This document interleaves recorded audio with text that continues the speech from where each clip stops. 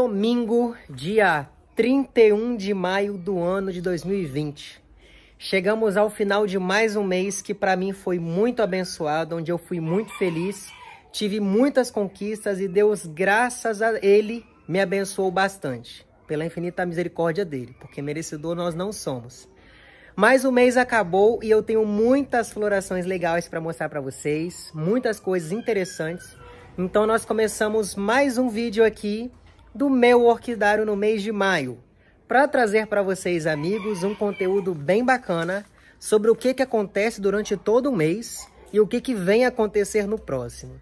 Bom, em vídeos anteriores eu mostrei algumas florações para vocês aqui, de Cattleya gutata alba, muitas valquirianas, híbridos de Cattleya, tudo aquilo que me desperta bastante a atenção, brilha aos meus olhos e de um perfume muito maravilhoso. Esse vídeo para vocês está sendo gravado no horário de meio-dia. Então o sol está assim, olha, metade do orquidário já virando.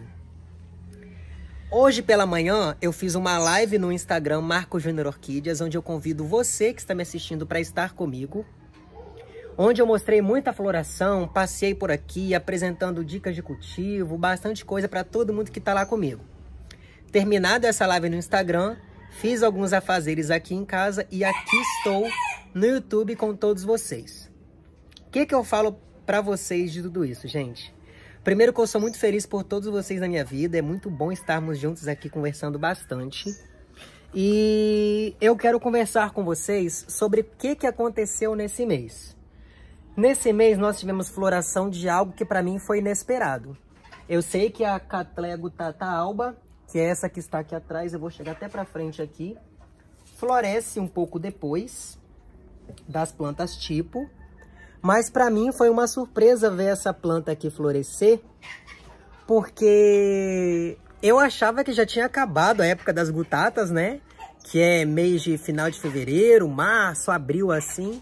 E quando eu vi essa floracinha aqui, eu fiquei encantado. Essa, muitas outras aqui ao meu redor também.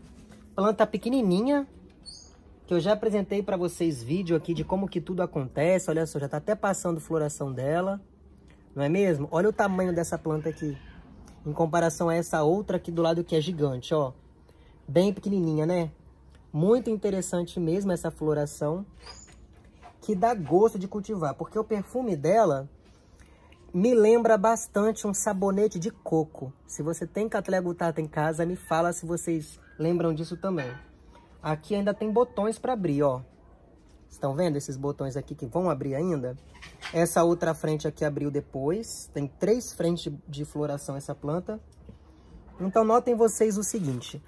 É, aqui, uma coisa bem interessante que eu observei é que por que, que as gutatas albas florescem depois das tipos terem, terem florescido bastante tempo depois? Antes, né? No caso.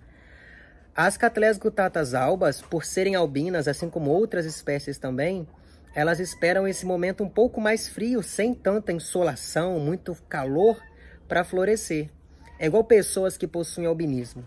Já viu uma pessoa albina que tem a pele muito clarinha, cabelo claro, olhos, tem que usar chapéu, protetor solar, muitas coisas assim?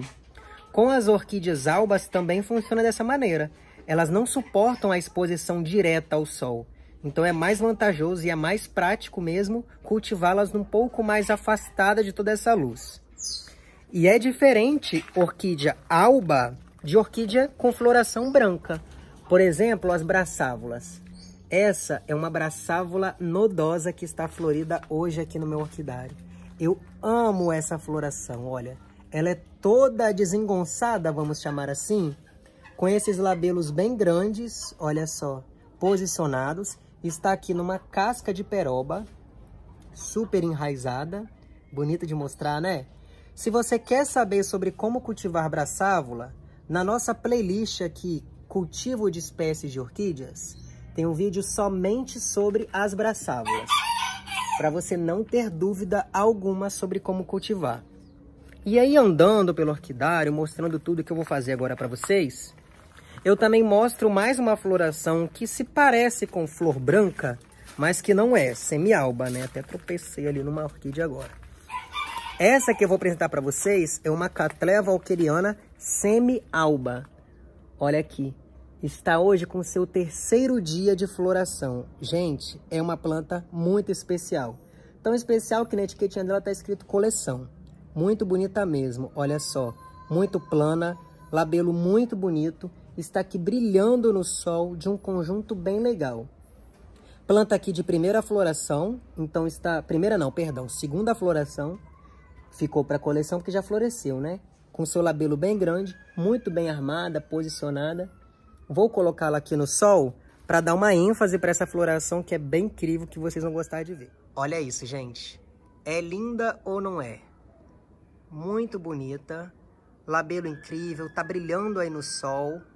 O que eu gosto bastante de observar e falar para vocês é a planicidade das flores. Então é algo que chama bastante atenção mesmo. E esse coloridinho dos lóbulos laterais que envolvem esse narizinho pintadinho, olha que luxo. É o que chama bastante atenção mesmo. Plantas que não ocupam tanto espaço, é bem bonito de notar. E aí, observando tudo que está por aqui, olha como que é interessante as coisas acontecerem.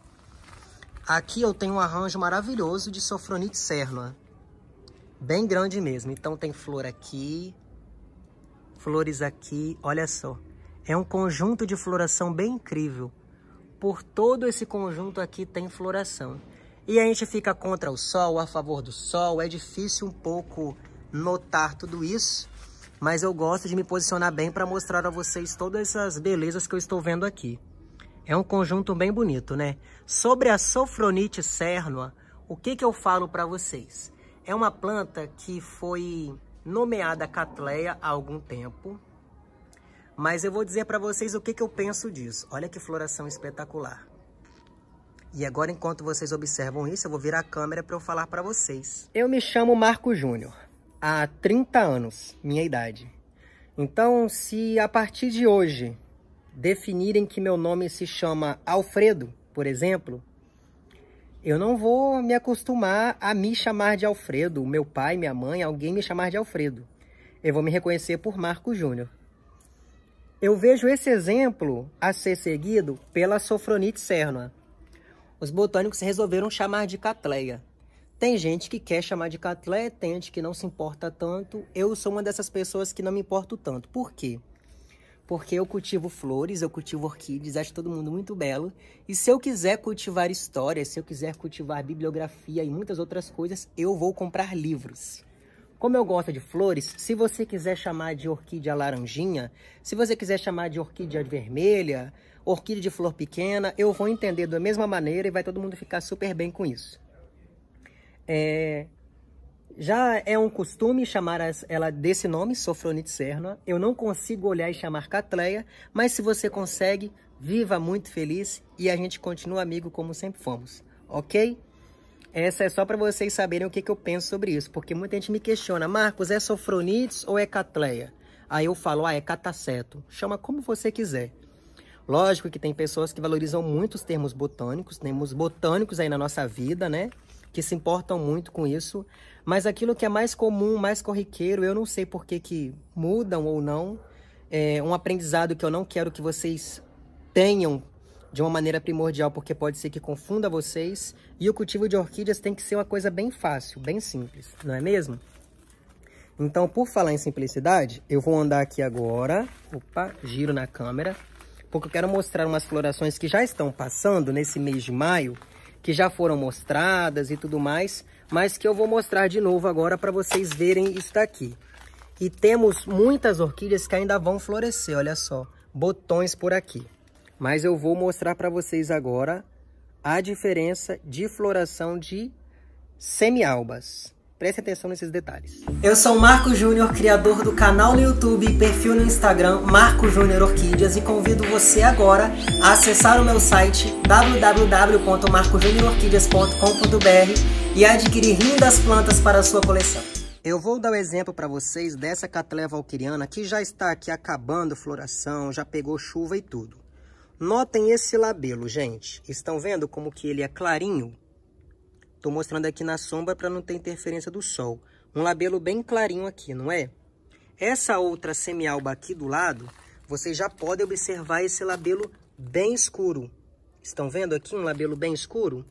Tem até uma aranhazinha aqui passeando, né? Vai ficar aí. Um labelo bem escuro e um labelo bem claro em plantas que são semialbas. Olha que interessante isso.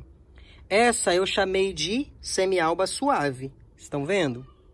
E aí cabe, tem até formiguinha aqui, cabe como vocês quiserem chamar. Aqui desse lado também tem uma Cattleya valquiriana suave, mesma maneira, estão vendo aqui? Iniciando sua floração. E do lado dela, infelizmente, olha, um botão que não vai florescer, ó, ficou amarelo.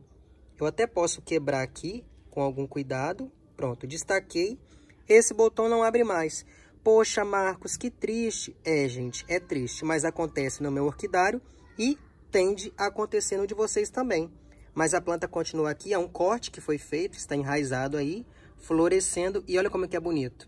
Primeiro dia de floração, flor ainda verde, mas olha, gente, que labelo bem clarinho. É lindo de se ver, não é mesmo? Aqui eu já mostrei a vocês esse híbrido de Catleia, registrado aqui, né? Identificado, que está acabando a floração já, mas que nesses vídeos anteriores aqui no canal já mostrei bastante. Também apresentei a vocês, olha, plantio de seedlings assim, né? No Angelim Pedra. Também mostrei na Paraju, que são aquelas ripas que estão ali, que eu até vou circular o orquidário agora para mostrar a vocês de novo. E algo muito bonito que eu gosto de ver sempre é o enraizamento das orquídeas, no qual sempre falo para vocês para a gente preservar ao máximo, cuidar, porque a raiz da orquídea é a vida dela, então é muito bonito ver isso daqui. E aquela coisa, né? O cultivo das orquídeas em madeira dá muito resultado. Olha só vocês, como que é bonito ver isso muito enraizamento, as orquídeas vivem muito bem, não tem aquele perigo de encharcar as plantas molhando bastante em vaso plástico. É uma coisa mais simplificada, é um cultivo mais tranquilo que você vai ter e vai somar muitos resultados no seu orquidário sim, com certeza. E tem muita planta aqui acabando floração, que eu já mostrei. Olha só, gente, essas hastes aqui da minha chambur, que é undulata, olha só como é que crescem, crescem, crescem e não terminam de crescer para floração. Olha só, estou balançando a haste. Quando florescer vai ser algo incrível de ser notado. Bonito, não é mesmo? Tendo mostrado para vocês tudo isso aqui referente à floração e dica de cultivo das orquídeas, eu agora apresento uma beleza muito, muito encantadora para todos vocês. Amigos, eu apresento para vocês aqui nesse vídeo para todo mundo que me acompanhou até o final desse vídeo, o nosso novo mascote aqui no Orquidário e Fazendinha, Marco Júnior Orquídeas, Marco Júnior Fazendinha, os meus dois canais aqui no YouTube, onde eu espero que vocês estejam comigo. Muito conteúdo sobre esse Lores Bornel vocês vão encontrar no meu canal Marco Júnior Fazendinha e também no meu Instagram, Marco Júnior Orquídeas. O que falar dessa linda ave que chegou para a gente aqui em casa na sexta-feira à noite. Esse é o Loris Bornel, uma ave exótica das ilhas de Borneo, tendo suas populações na Austrália, que é uma ave que está aqui, olha, mostra o pezinho Lori, com a sua anilhazinha de identificação, ave exótica, bem pet, lindo, maravilhoso, não é uma ave silvestre, então não necessita de registro em IBAMA, algo do tipo, mas sim de nota fiscal, representação de um criadouro que comercializa, né, e que reproduz essas espécies. É uma ave que come papinha e se alimenta naturalmente de néctar, de flores, né, de frutas somente lambendo, porque a língua é uma escovinha, então necessita de papinha e de muita atenção. É o nosso novo ou nova mascote aqui, porque eu ainda não sei o sexo desse bebê, de quatro meses apenas, mas assim que souber vou vir contar para vocês com certeza. É muito dócil, muito mansinho. E olha, eu convido vocês a estarem comigo no Instagram, Marco Renner Orquídeas, para ver muitos stories e muitos videozinhos dessa bela ave maravilhosa aqui. Eu estou apaixonado, e vocês? Gostaram de ver esse lindo Loris Bornel aqui? Fantástico, né?